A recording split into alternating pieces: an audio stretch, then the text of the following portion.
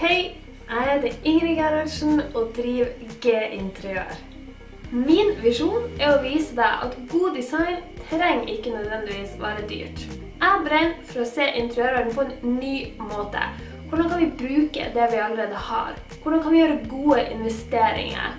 Hvordan kan vi se på gjenbruk og søppel som kule måter å få personlige, stilfulle hjem?